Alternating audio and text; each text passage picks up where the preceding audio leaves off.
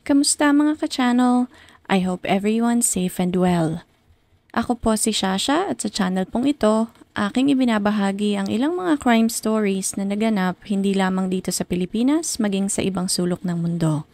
Kaunting kahilingan lamang po, kung inyong magugustuhan ang inyong maririnig, huwag pong kalimutang i-click ang subscribe button, i-click nyo na rin po ang notification bell para updated kayo sa mga susunod pang videos. Sarang he!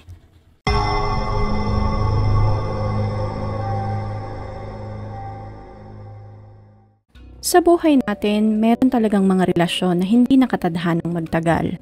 People come and go but the right one will stay, ika nga. Totoo ang kasabihang ito sa anumang uri ng relationship. Relationship with family, kasintahan, asawa, maging sa mga kaibigan.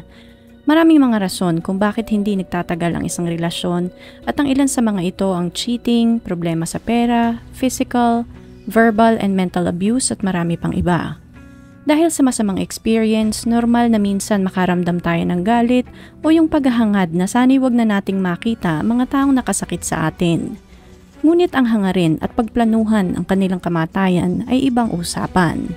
Ang kasong aking ibabahagi sa inyo ngayon ay kaso ng dalawang magkasintahan na pinlanong patayin ang kanilang mga dating karelasyon. Sina Leon Jacob at Valerie Busick McDaniel ay larawan ng isang perfect couple – Si Leon ay isang kilalang surgeon at si Valerie naman ay isang iginagalang na veterinaryo. Nagkaroon sila ng magandang tahanan, matagumpay na karera at tila masayang relasyon. Ngunit sa likod ng mga saradong pinto, ang kanilang relasyon ay malayo sa pagiging perpekto.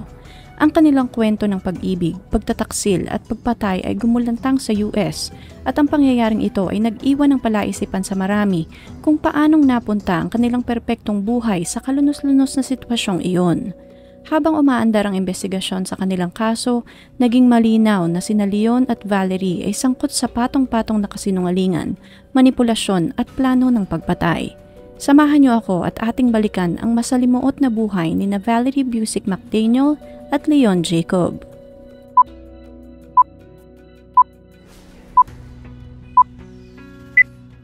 Si Valerie Busick ay pinanganak sa Houston, Texas, United States. Ang kanyang mga magulang ay sina Carol Ann Busick at Don Busick. Inilarawan siya ng mga taong nakakakilala sa kanya bilang isang mabuting bata at isang masipag na mag-aaral.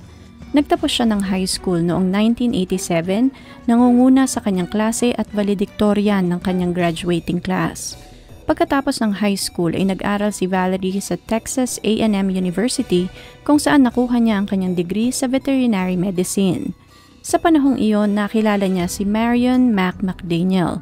Mabilis na nagkamabutihan ang dalawa at kalaunan nag-propose si Mac sa kanya. Nagkaroon sila ng mala fairy tale na kasal at nagkaroon ng magandang simula.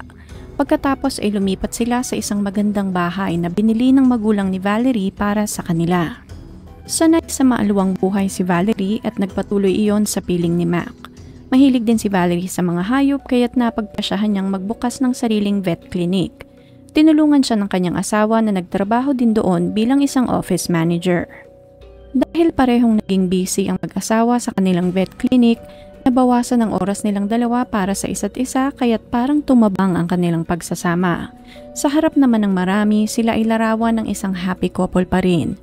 Gusto na sana nilang magkaroon ng anak ngunit hindi pa rin sila nabibiyayaan ng supling kaya't napagpasyahan nilang mag-ampon na lamang. Noong 2008, nag-ampon sila ng 2 days old na batang babae.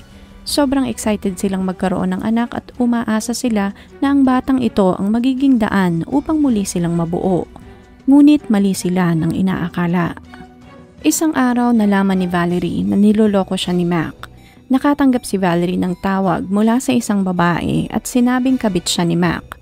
Sinabi rin ng babaeng ito kay Valerie ang lahat ng listahan ng iba pang babaeng naging karelasyon ni Mac. Agad na kinompronta ni Valerie ang kanyang asawa, umamin naman si Mac at humingi ng tawad sa kanyang ginawa. Dahil mahal na mahal ni Valerie ang asawa at ayaw niyang masira ang kanilang pamilya, pinatawad at binigyan niya ito ng second chance. Gayunpaman, hindi nagtagal ay nagsimula na namang mambabae si Mac. Sa pagkakataong iyon, sobrang desperado si Valerie na mag-workout ang kanilang relasyon. Mahal niya ang kanyang anak at ayaw niya ng split custody, kaya't muli niyang tinanggap si Mac sa buhay nila. Ngunit sa paglipas ng mga araw ay hindi na bumalik sa dati ang kanilang pagsasama at parang nagsasama na lang sila dahil sa kanilang anak. December 2014, nagpa siya si Valerie na mag-file ng divorce matapos ang 17 years na pagsasama. Pumayag siya na magkaroon na lamang ng shared custody para sa siyam na taong gulang noon na anak.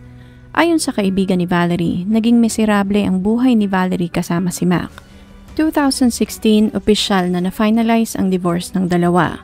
Matapos iyon, lumipat si Valerie kasama ang kanyang anak sa isang luxury high-rise condo sa Houston, Texas, malapit sa River Oaks. Matagal iyong dinamdam ni Valerie ngunit wala siyang ibang choice kundi magpatuloy para sa kanyang anak. Ngunit isang araw, may isang lalaking kumatok sa kanyang pinto at nagpakilala. Ang lalaking ito ay si Leon Jacob na anak ng kapitbahay ni Valerie. Si Leon ay walong taong mas bata kaysa kay Valerie. Si Leon ay lumaki sa Texas at bata pa lamang ito ay pinangarap na niyang maging isang doktor. Kaya't nang tumuntong ng kolehiyo, nag-enroll siya sa isang medical school sa Caribbean island of Grenada. Habang nag-aaral ng medisina si Leon, nakilala at kinasal siya sa kanyang college sweetheart na si Annie Morrison. Nagkaroon sila ng dalawang anak na lalaki at namuhay bilang isang masayang pamilya. Para kay Leon, sila ang pinakamahalagang tao sa kanyang buhay. Ngunit taong 2010, umalis siya sa ospital kaya't ang kanyang Texas Physician in Training Certificate ay na-terminate. Lumipat si Leon sa Ohio at pumasok sa isang residency program sa Northside Hospital sa Youngstown. Nagkaroon din siya ng problema doon at natanggal sa trabaho noong March 2011. Kinasuhan siya ng ospital ng negligence dahil sa hindi pagsunod sa mga rules ng ospital. Ang mala picture perfect life ni Leon, ang perpektong pamilya at magandang propesyon ay biglang naglaho. Matapos ang 12 years of marriage, nag-file ang kanyang asawa ng divorce dahil sa extreme mental cruelty na nararanasan niya sa piling ni Leon. Matapos ang isang taon na finalize ang kanilang divorce, ngunit hindi tumigil si Leon sa pangi-stalk sa kanyang ex-wife. Naaresto si Leon noong 2014 at nakasuhan siya ng stalking at cyber harassment nakatala sa court documents na paulit-ulit na pinagbabantaan ni Leon ang kanyang ex-wife. Inamin naman ni Leon na guilty siya sa cyber harassment na isinampa sa kanya, ngunit mariin niyang iginiit na madalas lamang siyang tumatawag sa dating asawa upang makausap ang kanyang mga anak. Nag-serve lamang si Leon ng probation para sa kasong cyberstalking at idinismiss na ang iba pang mga kaso. Bumalik si Leon ng Texas para sa panibagong residency program. Tumira siya sa Pittsburgh at doon ay nakilala niya si Megan Vericas. Nakilala niya ito sa isang hotel kung saan isang assistant general manager si Megan. Mabilis na nagkamabutihan ang dalawa at di kalaunan ay nagsama na sa iisang bubong. Naging masaya ang dalawa at palaging nagbabakasyon. Palagi rin silang nagdaraos ng mga family get-together. Sa kabila ng tila masayang pagsasama nila ni Megan, hindi naman naging maayos ang takbo ng karera ni Leon. Umabot ng halos pitong residency program ang dinaanan ni Leon dahil palagi siyang nakikick out sa lahat ng nauna niyang residency program. Masyado itong mayabang at sobra ang bilib sa sarili. Pakiramdam niya ay siya ang pinakamagaling na doktor sa kanilang klase o grupo. Dahil din doon, na-delay ang proseso ng medical license ni Leon. Ayon pa nga kay Leon ay kamukha daw niya di umano ang sikat na Hollywood actor na si Bradley Cooper. Tatlong taon lamang ang itinagal ng relasyon ni Megan at Leon. Narealize ni Megan ang mga masamang pag-uugali ni Leon kaya't pinalayas niya ito sa kanyang apartment. Ayon kay Megan ay malimit siyang pagbuhatan ng kamay ni Leon. Verbally abusive din ito at malimit di umano siyang tawagin ni Leon na mahirap at walang pinag-aralan. Tumawag si Megan ng pulis dahil sa insidenteng iyon at sinabi ni Megan sa mga pulis na marahas na hinawakan ni Leon ang kanyang muka kaya nasugatan ang kanyang labi. Inamin naman ni Leon ang pangyayaring iyon ngunit base sa kanyang salaysay, nagwawala di umano si Megan at sinubukan niya lamang itong pakalmahin. Na-frustrate si Leon na hindi na siya mapatawad ni Megan at iiwan na siya nito. Gayunpaman, dahil sa kakulangan ng sapat na ebidensya, kalaunan ay na-dismiss din ang isinampang kaso. Makalipas ang pitong araw ng paghihiwalay ni Leon at Megan, niligawan naman ni Leon si Valerie. Noong una ay hindi siya gusto ni Valerie ngunit dahil porsigido si Leon, wala na ring nagawa si Valerie at nahulog na din ang loob nito sa binata. Walong taon ang tanda niya kay Leon. Nasa punto ng buhay si Valerie na gusto na lang niyang maging masaya. Yes, isa siyang veterinaryo ngunit tumatanda na siya at isa ding diborsyada kaya't malugod niyang tinanggap si Leon sa kanyang buhay. Inilarawan ni Valerie ang kanilang first sexual encounter na parang isang tagpo sa pelikula at iyon ang pinakamadamdamin at romantikong sandali sa kanilang buhay. Lumipat si Leon sa kondo ni Valerie at nagsimulang magsama ang dalawa noong early 2017. Naging maayos ang pagsasama ng dalawa at muling naging masaya si Valerie. Palagi silang naglulutong magkasama, nagbukas din sila ng shared bank accounts at di kalaunan, ibinalita nila sa kanilang mga kakilala na malapit na silang ikasal. Naging masaya ang pamilya ni Valerie sa itinatakbo ng kanilang relasyon. Excited ang lahat para sa kanilang dalawa. Ngunit may isang tao na hindi masaya sa pagsasama ni Leon at Valerie. Ito ay ang ex-husband ni Valerie na si Mac. Hindi siya komportable na si Leon ang kasama ng kanyang anak habang lumalaki ito. Habang magkasama na si Valerie at Leon sa iisang bubong, hindi alam ni Valerie ay patuloy pala ang pang-i-stalk ni Leon sa dati nitong girlfriend na si Megan at dahil doon muling kinasuhan ni Megan si Leon ng stalking. Nabahala si Leon sa pangyayaring iyon dahil maaaring hindi niya makuha ang kanyang lisensya upang maging isang ganap na doktor kung matutuloy ang kasong isinampa ni Megan. Walang ibang naisip na paraan si Leon kundi ang iligpit si Megan.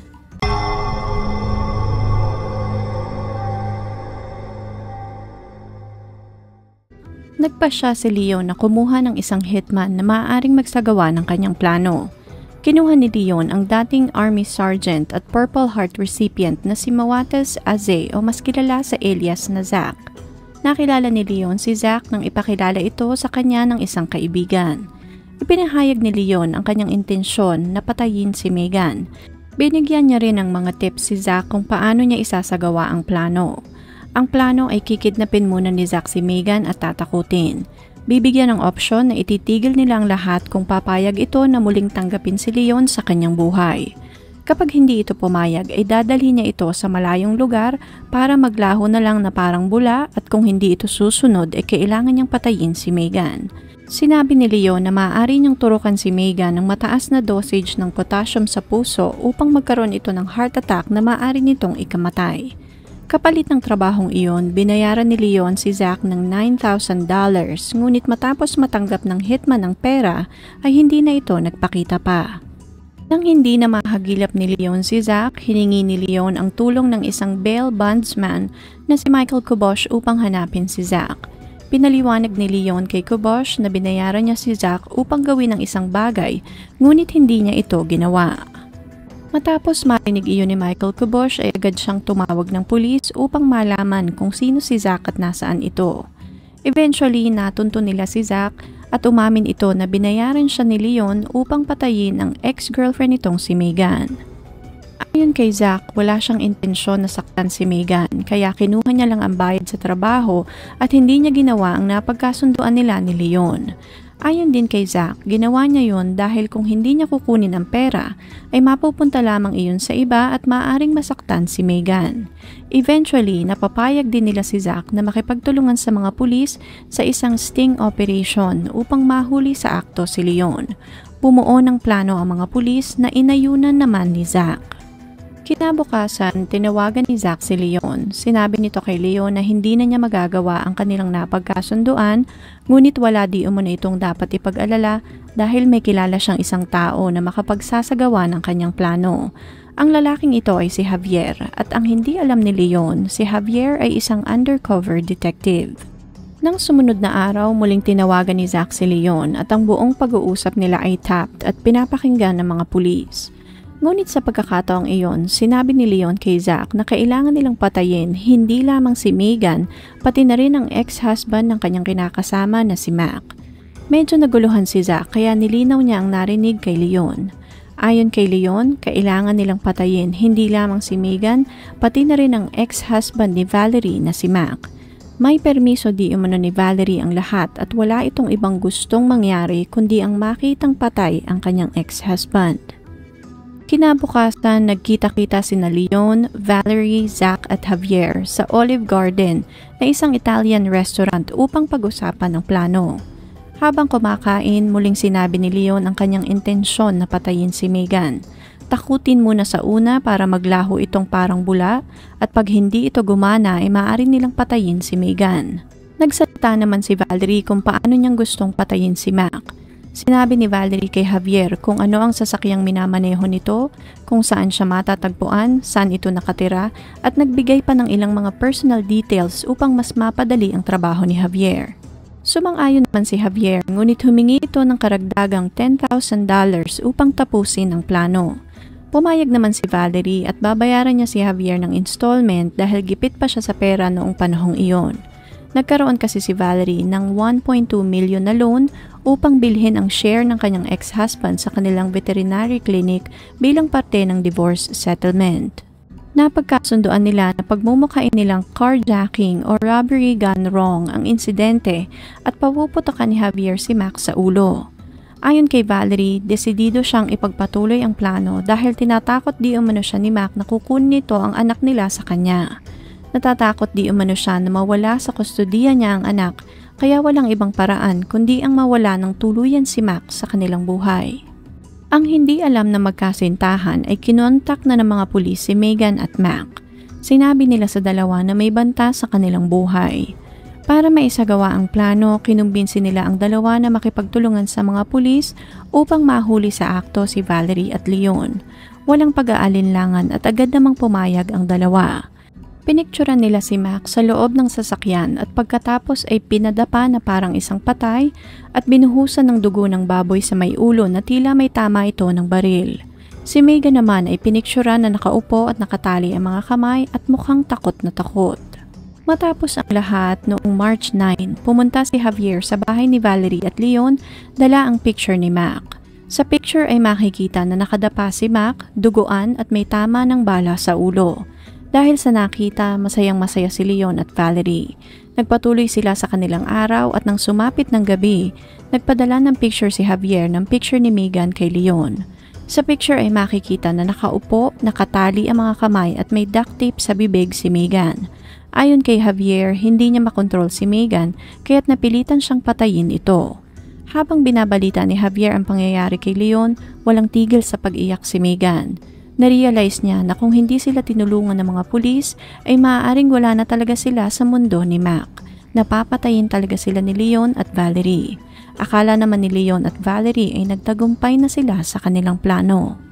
March 10, 2017, bandang alas 3 ng umaga, pumunta ang mga pulis sa apartment ni Valerie at Leon sa pangunguna ni Sergeant Frank Kin at ang mga sumunod na pangyayari ay parang Oscar-winning performance na. Police went to the couple's Houston high-rise apartment What's going on? where the suspects appeared to act surprised. Sorry to tell you.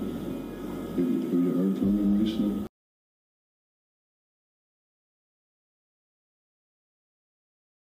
Boyfriend here with you? You think you can kind of be a little help to us now? I did deliver some bad news to her. her, uh, Our ex-husband's been found tonight. and Oh my god. Might have been a robbery gone wrong. We're just trying to you your rights. Me? With both of you being arrested for solicitation, capital murder. Obviously, alam ng mga pulis na acting lamang ang lahat, kaya't minabuti nilang sabihin na na nandoon sila sa kanilang apartment upang arestuhin ang dalawa. Sa puntong iyon, inaresto na ng mga pulis ang magkasintahan para sa kaso ng solicitation of capital murder. Doon napagtanto nila na kapwa buhay at maayos ang kanilang mga target. Bago dalhin si Valerie sa kanilang kustodiya, pinahintulutan siya ng mga officers na kunin ang kanyang natutulog na anak at ibigay sa kanyang ex-husband na naghihintay sa hallway. Iyon na ang huling pagkakataon na nakita ni Valerie ang kanyang anak pati na si Leon. Tatlong araw matapos maaresto ang dalawa, pansamantalang nakalaya si Valerie matapos makapagpiyansa ng 50,000 US dollars. Si Leo naman ay hindi pinayagang makapagpiyansa dahil sa iba pang nakasampang kaso na may kaugnayan sa kanyang ex-girlfriend na si Megan. Dahil sa pagkakaaresto, nasuspindi naman ang veterinary license ni Valerie. Habang hinihintay ni Valerie ang legal process para sa kanyang kaso, binisita niya ang ibang mga kaibigan ngunit madalas ay nagkukulong lamang siya sa kanyang apartment. Dalawang linggo pagkatapos maaresto, ginamit ni Valerie ang kanyang iPad para i-record ang kanyang saloobin at ang kanyang kwento. Hindi niya alam kung ano ang kinabukasan na naghihintay sa kanya. Ang mga kaibigan na noon ay tinitingala siya ay unti-unti nang naglalaho. Hindi niya na rin kasama ang kanyang anak na siyang dahilan kung bakit siya nagpapatuloy sa buhay. Nakadagdag pa sa depresyon niya ang pagka-revoke ng kanyang lisensya. Gusto niya sanang makausap si Leon ngunit hindi siya pinayagan ng mga pulis. March 27, 2017, dalawang araw matapos ang final recording ni Valerie, gumawa si Valerie ng isang kakilakilabot na desisyon. Dahil sa kasong nakasampa sa kanya sa patong-patong na problema, kahihiyan at katotohanan na maaring pagkatapos ng trial ay hindi na siya makalabas pa ng kulungan, minabuti ni Valerie na tapusin na lamang ang kanyang buhay. Tumalon si Valerie mula sa balcony ng kanyang apartment na nasa ikapitong palapag na agad naman niyang ikinamatay. Marami ang nagulantang sa naging desisyon ni Valerie at isa na rito si Leon. Alam di umano ni Leon na gustong gusto siyang makita ni Valerie ngunit wala siyang magawa dahil hindi sila payagang magkita ng mga pulis. Ngunit sa kabilang banda, marami ang nagsasabing si Leon ang dahilan kung bakit nahantong si Valerie sa ganoong sitwasyon vulnerable si Valerie nang makilala niya si Leon kaya't sa tingin nila ay naimpluwensyahan at na-brainwash nito si Valerie. Iginiit naman ni Leon na siya ay inosente at bilang isang tao at bilang isang doktor, ang pag-iisip na pumatay ng tao kailanman ay hindi niya hinangad. Hiniling ni Leon sa judge na payagan siyang pumunta sa funeral ni Valerie ngunit ang request niyang iyon ay hindi napagbigyan. Kinasuhan si Leon Jacob ng two counts of solicitation of capital murder dahil sa planong pagpatay kay Megan at Mac. Leon pleaded not guilty at sa pagdinig sa kaso, kinuha niya ang isa sa mga nangungunang defense attorney sa Texas na si George Parham. March 20, 2018, isang linggo bago ang first anniversary ng pagkamatay ni Valerie, mag-isang tumayo sa trial si Leon para sa two counts of solicitation of capital murder. Sa trial ng atwiran ng mga abogado ni Leon na naniniwala silang kumuha si Leon ng private investigator upang tulungan siyang makipagbalikan kay Megan hindi upang patayin si Megan. Dagdag pa ng co-counsel ni Attorney Parnham na ang pagkuha ng mga pulis sa undercover officer na si Detective Javier ang naging dahilan upang gumawa ng deadly choice sina Leon at Valerie. Mistigo sa trial ang ex-girlfriend ni Leon na si Megan Vericas Bukod sa kaso ng planong pagpatay, nag-file rin ito ng assault charges kay Leon noong 2017. Habang umiiyak, binalikan ni Megan ang lahat ng pang-aabusong naranasan niya kay Leon. Paulit-ulit siya di umunong hinaharas at tinatakot ni Leon at nang hindi na niya makontrol iyon, nagdesisyon siyang umalis na lamang at bumalik sa kanyang hometown sa Pittsburgh. Ayon kay Megan Vericas, wala na siyang tiwala sa kahit na sino. Lagi na siyang natatakot na baka may mangyaring masama sa kanya at sa mga mahal niya sa buhay. Para lubos na mapatunayan ang violent tendencies ni Leon, tinawag din ng korte ang dating asawa ni Leon na si Annie Morrison kaya't lumipad si Annie mula Chicago upang tumistigo. Sinabi ni Annie Morrison na may isang pagkakataon na tinutukan siya ni Leon ng kutsilyo. Isinubsob nito ang ulo niya sa counter na nagdulot ng pasa sa kanyang muka. Isinalaysay din ni Annie na noong pitong buwang buntis siya sa pangalawang anak nila ay binantaan siya ni Leon na susuntukin sa tiyan. Takot na takot siya kaya't ihinarang niya ang kanyang binti sa kanyang tiyan upang maprotektahan ang bata sa kanyang sinapupunan. Nagbanta rin si Leon sa kanya na kapag umalis siya ay papatayin siya nito at sinabing walang sino man ang makakahanap sa kanyang katawan dahil isa siyang doktor at may access siya sa mga kemikal na magpapatunaw sa katawan ni Annie. Eventually, nagawa ni Annie na makaalis at lumipat sa bahay ng kanyang mga magulang sa Chicago. Ngunit hindi di umano tumigil ang pangaharas ni Leon at ang mga magulang naman ni Annie ang hinaras ng kanyang dating asawa. Sumunod na tumayo sa witness stand ang ex-husband ni Valerie na si Mac McDaniel. Ipinahayag ni Mac ang kanyang saloobin at inamin na hindi siya naging masaya nang malaman niya na nagsasama na sa Leon at Valerie. Sinabi din ni Mac sa korte na kinontak siya ng mga pulis upang abisuhan na nasa panganib ang kanyang buhay kaya't nakipagtulungan siya sa isinagawang staged crime scene. Ipinakita naman sa korte ang graphic photos ni na Megan at Mac na kinuna ng mga otoridad. Pinakinggan rin sa korte ang recorded conversation noong pinaplano pa ang pagpatay. Nang si Leona ang nasa witness stand, mariin niyang pinabulaanan lahat ng bintang sa kanya.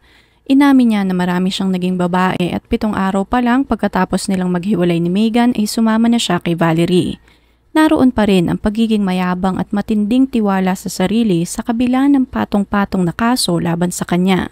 Nilinaw naman ng korte na hindi sila naroon upang pag-usapan kung gaano siya kababaero, kundi dahil sa plano nilang pagpatay kay Mac at Megan. Sa kabila ng lahat ng ebidensya, mga recordings at mga larawan, mariing itinanggi ni Leon ang mga akusasyon. Ayon sa kanya, ang mga sinabi niya kay Javier at Zach ay pawang mga suggestions lamang at hindi niya mismong sinabi na gawin ng mga hitman iyon. Ngunit ang naging pahayag ni Leon ay ginamit din ng korte laban sa kanya. Matapos ang isang oras na deliberasyon, nagkaroon ng unanimous decision ang jury. Si Leon ay napatunayang nagkasala sa parehong bilang ng pagsasabuatan upang patayin si Megan at Mac. Isang oras lang din ang inabot ng horado para magpasya ng sentensya ni Leon Jacob. Habang buhay na pagkakakulong sa bawat bilang ng solicitation of capital murder para kina Megan Vericas at Mac McDaniel. Inutusan din siya na magbayad ng $10,000 na multa. Ilang sandali matapos basahin ang sentensya, muling tumayo sa witness stand si Megan upang i-deliver ang kanyang final send-off message para sa kanyang dating kasintahan. Sinabi ni Megan kay Leon na hindi mo na makikitang lumaki ang iyong mga anak. Hindi ka magiging parte ng kanilang buhay at mas magiging mabuti siguro iyon para sa kanila. Sinira mo ang buhay ko at inalis mo ang aking sense of security, ngunit hindi mo na magagawa iyon. Habang nasa kulungan ka, sana isipin mo ako, ang babaeng tinawag mong mahirap at walang pinag-aralan. Dahil dahil sa akin, sa babaeng tinawag mong mahirap at walang pinag-aralan, habang buhay kang mabubulok sa kulungan. Nagpahayag naman ng kanilang saloobin ang kampo ni Leon na plano nilang maghain ng apila dahil meron silang sapat na dahilan upang mag-request ng reversal at retrial.